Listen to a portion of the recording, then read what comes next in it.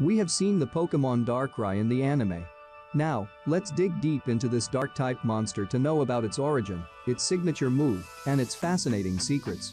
Stay tuned till the end of the video to be shocked by some of the most interesting facts of this nightmare monster.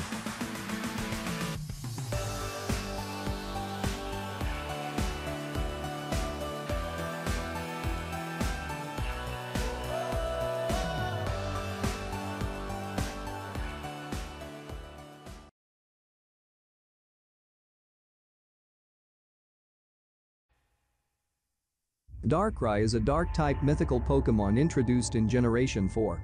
It does not evolve from or into any other Pokemon. It is a member of the lunar duo with Cresselia. The name Darkrai is a combination of the English word dark and the Japanese word kurai which also means dark.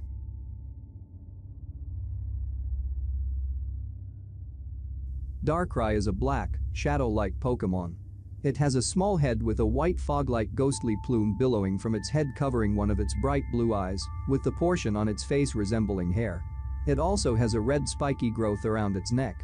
It has skinny arms and long black tatters hanging from its shoulders. It also has black, claw-like hands.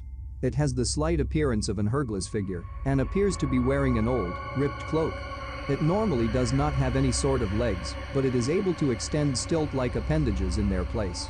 Darkrai is known to inhabit dreams and causes the target to have unending nightmares, which can be stopped if exposed to a lunar feather from Cresselia. However, the unleashing of nightmares is actually a defense mechanism instead of an intentionally malicious act. It can become a shadow and escape danger or the contact with humans. It is also capable of some human speech. Darkrai does not only cause nightmares, it is also attracted to them. It can also go around objects it is attracted to, and it is said to be active during nights of the new moon. Darkrai possibly feeds off dreams, characterized by its association with never-ending nightmares.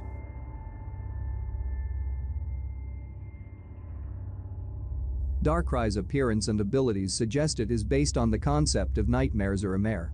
A mare is a malicious entity in Germanic and Slavic folklore that rides on people's chests while they sleep, bringing on nightmares. The shadowy resemblance of Darkrai may also have been inspired by the bogeyman. Morpheus and Phobetor are Greek gods associated with sleep and dreams. In Ovid's Metamorphoses, Phobetor who is also called as the Frightener by men, is one of the thousand sons of Somnus he appeared in dreams in the form of a beast, or a bird, or a long serpent. Whereas Morpheus appeared in dreams in human form. From the medieval period, their names began to stand more generally for the god of dreams, or of sleep. It might also be based on the Nocnitsa from Slavic folklore. The Nocnitsa is an evil spirit that torments children with horrible nightmares, slowly draining them of their life energy with each passing night. The Nocnitsa is also present in Russian and Slovak folklore. She is known to torment children at night. A stone with a hole in the center is said to be a protection from the Nocnitsa. Mothers in some regions will place a knife in their children's cradles or draw a circle around the cradles with a knife for protection. This is possibly based on the belief that supernatural beings cannot touch iron. This is similar to how victims of Darkrai's nightmares can only be woken up with the lunar feather.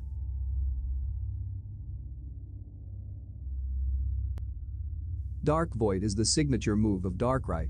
It is the only known Pokemon to learn this move. During this move, Darkrai drags the opponent into a world of total darkness that makes them sleep. The sleeping Pokemon cannot move even an inch when affected, except to snore. Pokemon with insomnia may escape from this attack to a certain extent.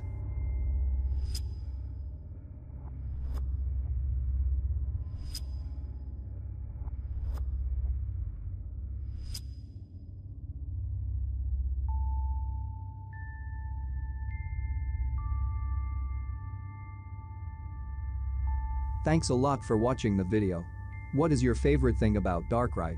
Please do let us know in the comments below. Please like and subscribe to the channel.